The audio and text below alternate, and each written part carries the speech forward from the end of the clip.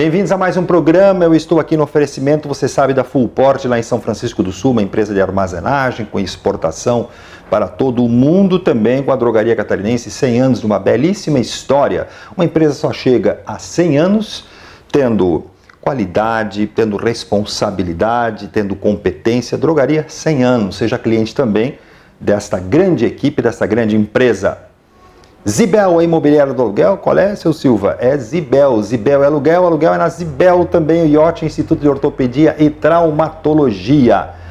Lá você faz a revisão dos teus ossos, né? Quebrou, conserta lá. Quer saber se não vai quebrar? Vai lá na IOT, tá certo? Fica na rua Blumenau.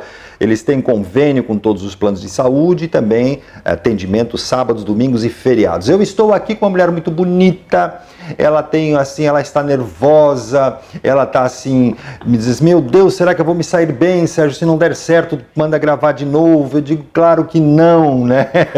Eu vou falar um assunto com ela que talvez você nunca tenha ouvido falar: microfisioterapia. Fisioterapia as pessoas conhecem, mas e a micro? Tudo bem, Nil? Tudo bem, é um prazer estar aqui com você. O que é a microfisioterapia? São farinhas pequenininhas, os instrumentos são pequenininhos, não é isso?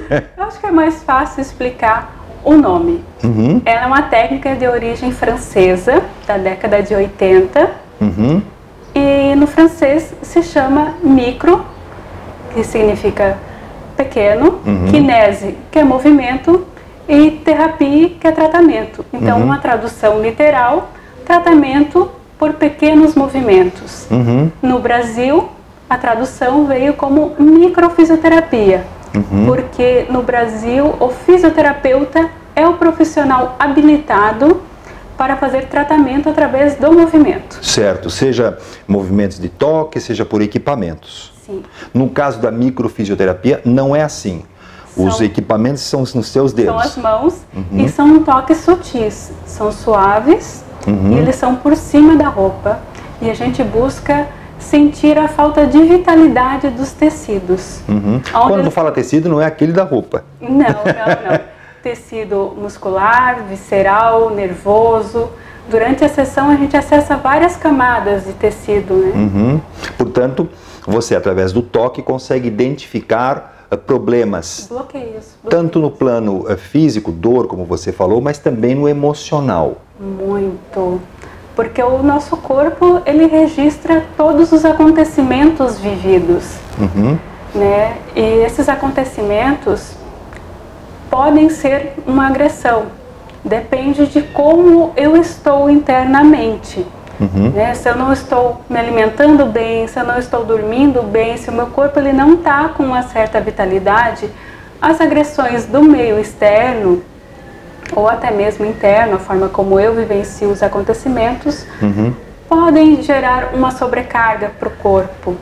Né? Então, o meu corpo ele pode não reagir àquela agressão ou dar uma resposta fraca. E isso é, o nosso corpo somatiza, ele registra todos os acontecimentos vividos, são como cicatrizes. Uhum. A gente vai buscar onde o corpo somatizou esse acontecimento.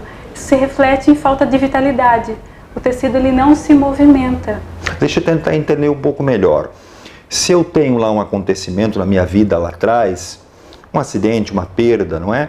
Algo que não seja no plano é, físico, muitas vezes comigo, né? Eu Mas pode ser físico também. também pode né? ter várias repercussões Isso. em cima de um sintoma só. Mas eu esqueci, aquilo tocou, mas o meu corpo não esqueceu. Ele lembra. Então, Ele vai lembrar. O consciente corporal lembra. E aí, você, através de uma sessão de microfisioterapia, no toque você vai identificando que em determinados pontos do corpo tem alguma coisa errada tem um bloqueio, tem uma falta de vitalidade, tem uma restrição. Uhum. E a gente vai investigar o que foi e aonde foi que o corpo somatizou. Então a origem pode ser uma origem química, como excesso de medicamentos, excesso de cigarro, de álcool, eh, questões tóxicas, como os próprios agrotóxicos dos nossos alimentos, uhum. micro-organismos, que seriam vírus, bactérias, Pode ser um trauma físico, como uma queda, uma batida, um acidente de carro, uhum. ou questões emocionais, uma perda, uma frustração, um sentimento de injustiça, algo que mexeu com os meus valores. Eu vou, eu vou tentar fazer aí uma, uma relação com a, a acupuntura. A acupuntura usa é, agulhas, não é? Para chegar a um determinado ponto e melhorar a minha relação com o fígado, ativar determinado ponto, um chakra que não está bem resolvido. E você faz isso com os dedos, com a mão, certo? É, o efeito é o mesmo? Dá para dizer que é a mesma coisa ou tem diferenças? Atua na mesma via. Atua na mesma via.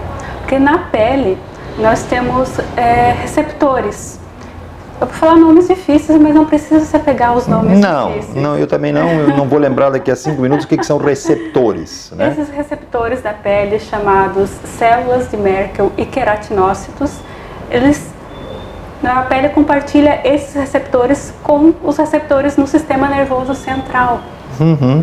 Por isso que as técnicas via toque, via pele, elas têm uma boa repercussão, têm bons resultados em tratamentos de saúde, tanto para sintomas físicos quanto para sintomas emocionais. Como se nós tivéssemos várias tomadas cada uma tivesse ligada a um determinado órgão, e aí quando eu ligo alguma coisa nessa tomada, que pode ser o teu dedo, a informação chega lá no chega outro lá. ponto. Excelente tradução, é isso aí. Uhum. E semelhante à acupuntura, a micro, ela divide o corpo em 32 estágios corporais. Tá? 32 pontos. 32 pontos. Esses 32 pontos, eles estão relacionados, cada um deles, a algum órgão ou glândula do nosso corpo, a um par de vértebras da coluna e a um grupo muscular. Então, nem sempre aonde está o sintoma, o sintoma é a origem dele. Uhum. Às vezes ele só está referindo o problema de outro lugar. Então eu tenho uma dor de coluna, mas não é a coluna propriamente dito que está escangalhada. Pode, Pode estar, em um outro órgão interno uhum. ou alguma glândula. Uma dor de cabeça intensa, por exemplo, pode ser é, também que não tenha nenhuma ação neurológica ou seja, no nosso cérebro, dentro da própria cabeça, pode estar é, vindo de, outro, de, de outra área. Interno, uhum. E aí vocês conseguem pode identificar. Pode também estar repercutindo do órgão interno, também pode estar repercutindo em músculos e tensionando esses músculos. E você consegue identificar isso na sessão? Identifica esses bloqueios e quais os acontecimentos vividos para a pessoa poder ressignificar e tomar também um pouco de autorresponsabilidade uhum. dentro da sua saúde e tomar decisões e fazer novas escolhas. Então, é, a sessão acontece em que você vai, identifica esses pontos, mas não é um tratamento que a pessoa fica vindo aqui 10, 15, 30 meses, né? Dois anos para tentar corrigir alguma coisa. Ele é mais curto. A proposta é mais curta. A micro, ela o propósito dela é favorecer a autorregulação do corpo. Muitas pessoas chamam de autocura. É uma propriedade que o nosso corpo já tem. Uhum. A gente só precisa estimular isso. Uhum. Então, é uma sessão a cada 30, 40 dias. E conforme a pessoa vai melhorando, a gente vai aumentando o espaçamento entre uma sessão e outra, podendo chegar até 60 dias. Uhum. É claro que depois de uma sessão a pessoa já pode notar a diferença. Tem pessoas que respondem muito bem ao tratamento uhum. e precisam de poucas sessões, uma, duas sessões já estão bem. Mas tem pessoas que têm muitas coisas, muitos acontecimentos ou muitos sintomas associados e essas sim precisam de mais sessões ou as sessões seriam para dar um suporte para promover uma certa qualidade de vida. Né? Então, Cada caso é um caso. Eu vou fazer o seguinte, é, é, Nil, eu vou para um breve intervalo, mas depois Pode. nós vamos fazer uma sessão, eu vou ganhar uma sessão dela, eu vou, depois eu vou dizer o preço para ti. Ela vai, não é fake, ela realmente, eu não fiz ainda, né? ela vai fazer em mim, nós vamos gravar tudo isso, e no bloco, no último bloco, eu vou poder interpretar contigo as minhas impressões, dividir isso com o telespectador que está em casa. Pode ser? Pode, excelente. A gente volta daqui a pouquinho, depois um breve intervalo. Enquanto isso, eu vou para a maca e volto na sequência. Não saia daí.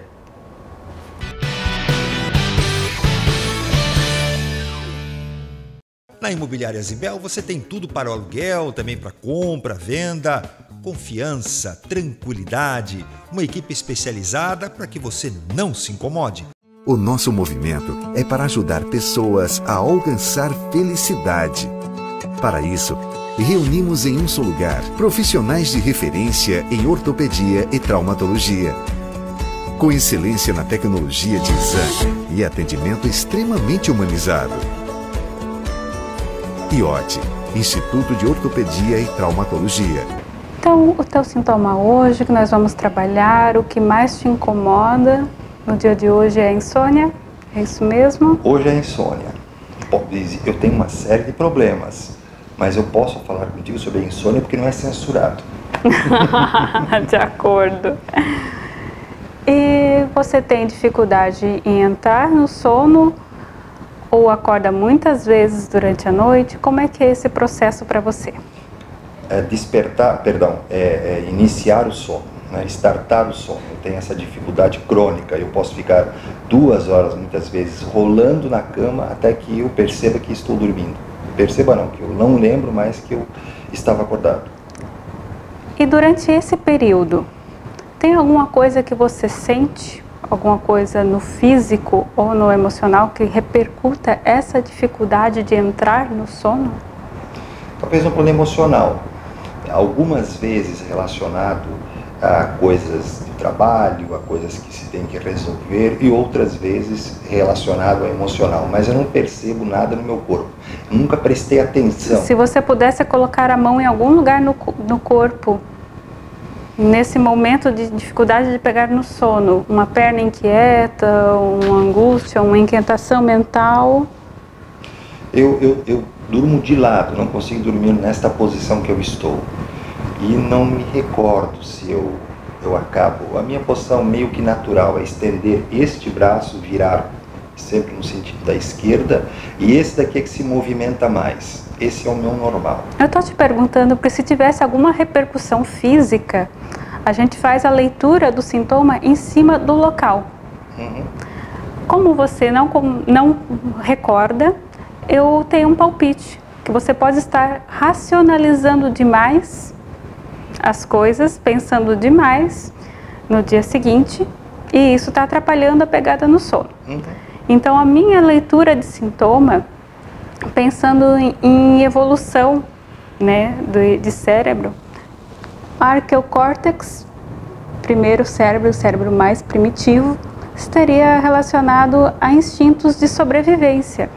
Então, aquela pessoa que está em muito estresse, naquele instinto de luta e de fuga, essa pessoa ela não dorme.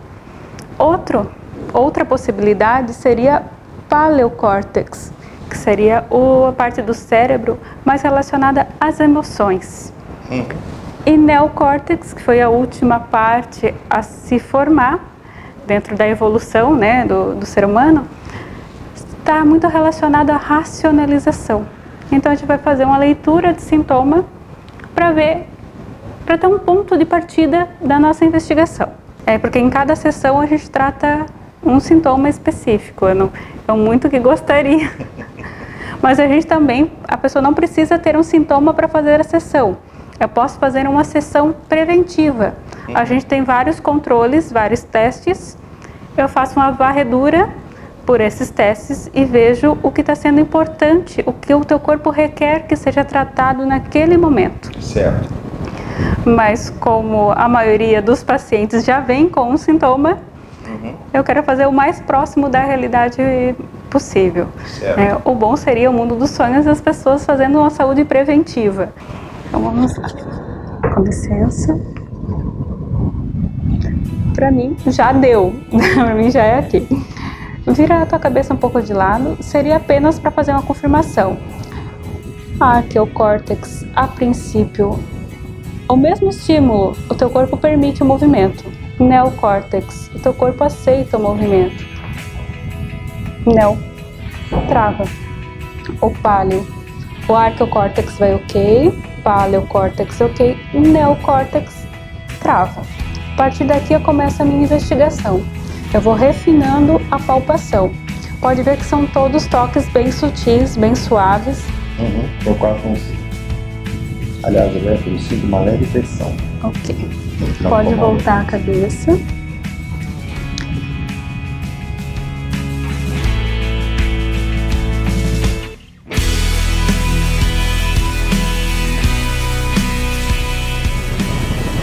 sei se tu nota a diferença.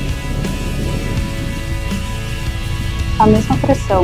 Aqui o teu corpo aceita o movimento.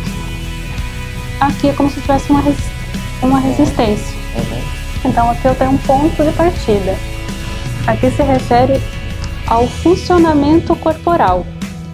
E a partir de agora, todos os passos eu vou investigar qual a parte do funcionamento corporal não, não está indo bem. Certo. Se for. Se for, vai aparecer.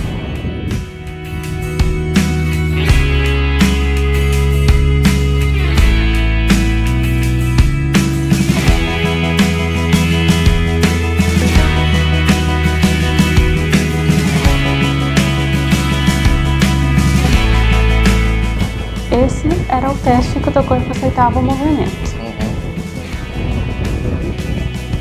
Agora aquela resistência se foi. A mesma pressão que eu coloco aqui, teu corpo aceita e aqui também. Essa dificuldade de tomar alguma decisão uhum. frente a alguma situação difícil, dificuldade de iniciar alguma coisa pela, pela indecisão. Essa situação está impactando, foi uma sobrecarga para a tua saúde. O teu corpo somatizou em hipotálamo. O hipotálamo aqui então seria a parte de crânio e também pode repercutir em alguns grupos musculares. Não quer dizer que tu tem que sair correndo e fazer uma ressonância magnética que tu tá com uma doença lá. Não. A glândula, o local ou o órgão, ele foi sobrecarregado. Então ele está trabalhando muito ou ele está com dificuldade de trabalhar. E a sua função, talvez no exame não apareça, entende? Mas o teu corpo fala para ele já está com, com dificuldade. O hipotálamo, ele regula as funções básicas de sono, fome, sede, temperatura.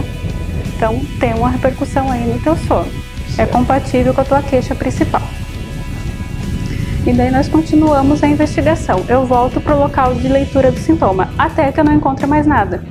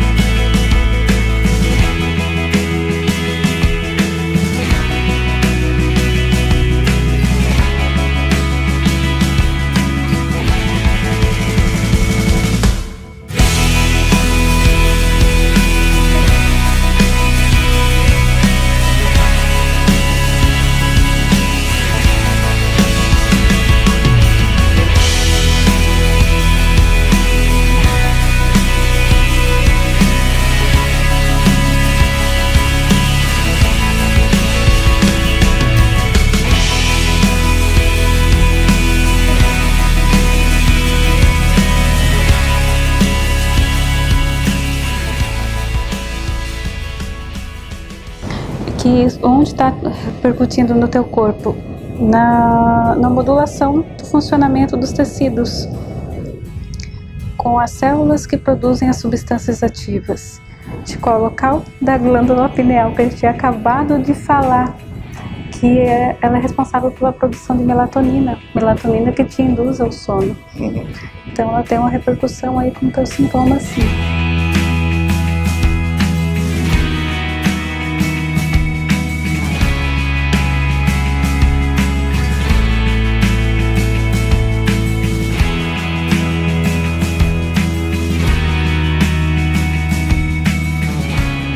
algo que a gente chama de cronicidade.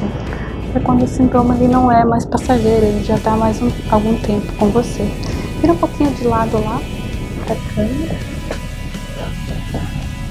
Isso. Licença. Traz teu calcanhar um pouquinho para trás. Ok. Pode esticar um pouquinho a perna. Tem uma imagem que eu gosto bastante. Deixa eu ver se eu acho ela aqui. Comparando o nosso corpo a um copo. Deixa eu virar, daí tu não precisa ficar erguendo tanto a cabeça. Cada situação que você passa na sua vida e que o seu corpo não consegue dar uma boa resposta, não consegue reagir bem, é uma gotinha que cai no copo. Então, ao longo da vida, da nossa existência, várias situações vão fragilizando o nosso corpo, até chegar o ponto que uma pequena gotinha faz o copo transbordar e os sintomas aparecerem.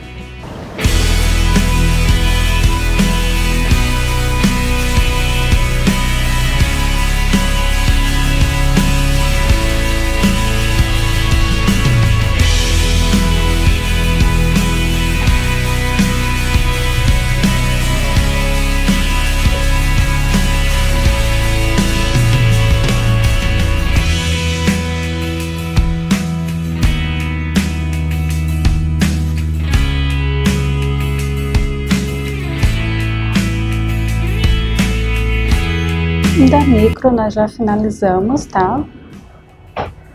O que eu estou estimulando aqui são alguns trajetos de inervação, trajeto de nervo vago. Na sessão que a gente faria de retorno, em sete dias depois desse atendimento, eu iria fazer mais alguns atendimentos desse trajeto da inervação para estimular o teu sistema nervoso autônomo que é o que regula o funcionamento dos órgãos, tá? E que regula esse ciclo de simpático parasimpático, né? Que o simpático te coloca em ação durante o dia e o parasimpático atua à noite na regeneração. Então, o normal é ter um equilíbrio esses, entre esses dois. E às vezes um está predominando em cima do outro.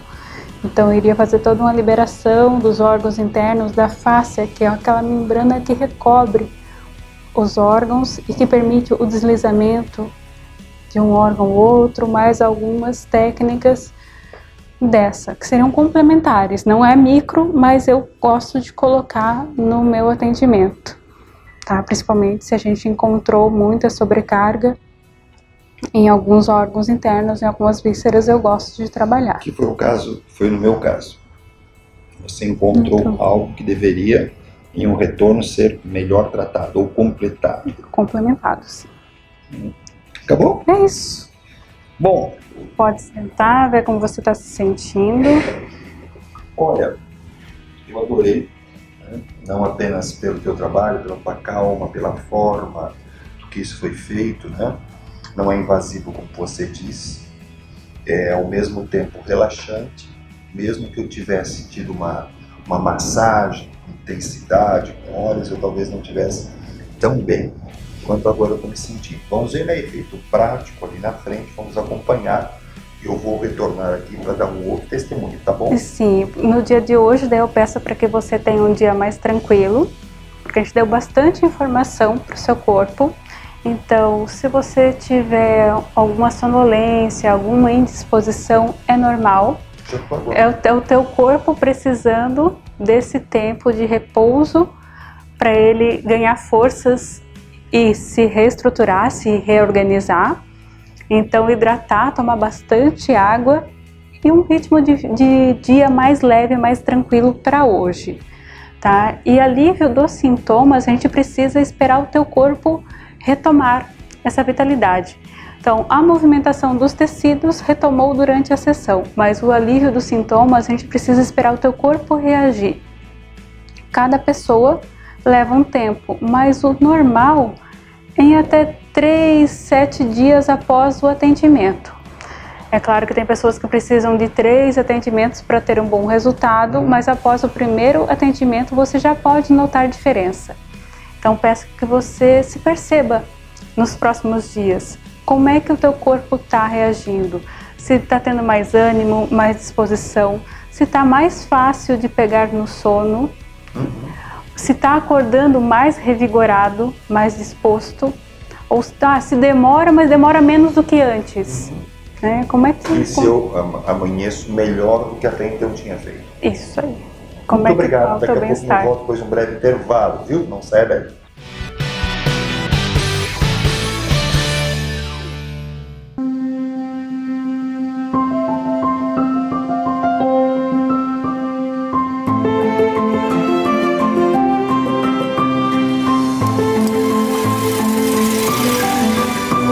História tem sua essência.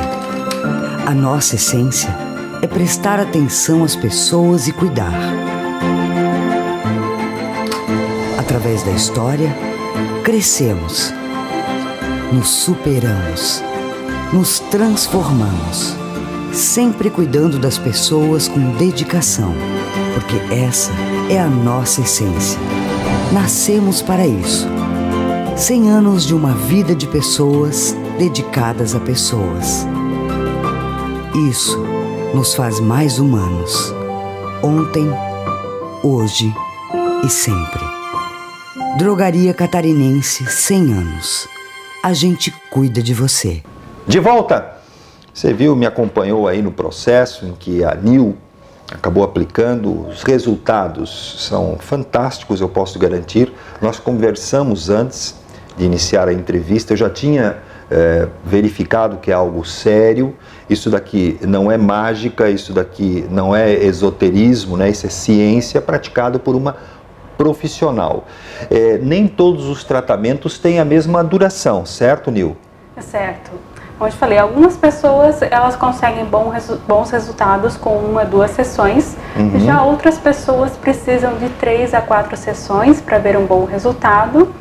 E às vezes vamos precisar fazer algumas sessões de manutenção uhum. a cada três meses ou sempre que ela tiver uma nova crise, um novo sintoma. E uma coisa que me chamou a atenção, uh, Nil, é que você acaba não. A pessoa não precisa. Uh, uh, confidenciar coisas para você se ela vem aqui no plano emocional, né? Ah, puxa, eu estou com um problema aqui, assim. Ela fala se quiser, ela mas a solução você vai buscar. É porque a principal informação ela é dada via corpo. Uhum. Lembra que no começo eu te apresentei que a gente busca a falta de vitalidade dos tecidos, uhum. aonde eles perderam a sua movimentação? Uhum. Então, essas camadas que a gente acessa durante a sessão, a gente estimula para que elas retomem o movimento. Uhum. E o movimento retoma no dia da sessão. Uhum. Retomando o movimento, a vitalidade retoma e a tendência é que os sintomas cedam, que eles aliviem e a pessoa retome a sua energia. Né? Mesmo que não, portanto, saúde. que ela revele isso para ti, porque isso para ti não será importante. Não, a principal a resposta informação é, é via corpo. Vem no teu corpo.